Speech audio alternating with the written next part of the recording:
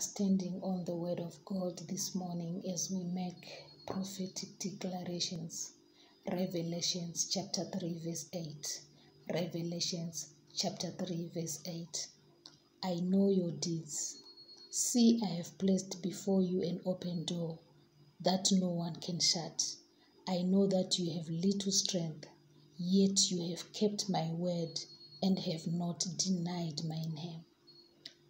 The God Almighty, the Master of the universe, the Ancient of Days, has set an open door before you that no one can shut. An open door has been set before you for your career breakthrough. An open door has been set before you for your business breakthrough. An open door has been set before you for your financial breakthrough. An open door has been set before you for the fruit of the womb. An open door has been set before you for your destiny.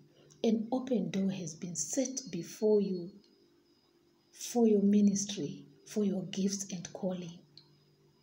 Let's make declarations this morning. Confess it with your mouth. Declare it. Declare it. Death and life are in the power of the tongue. Confess it with your mouth. Confess it with your mouth. Mention the areas. Mention the areas. Mention the areas. Mention the areas. Mention the areas. Mention the areas that you desire to have breakthrough.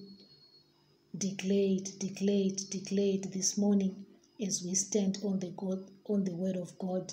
Declare it this morning. Declare it this morning in the mighty name of Jesus Christ of Nazareth. Amen.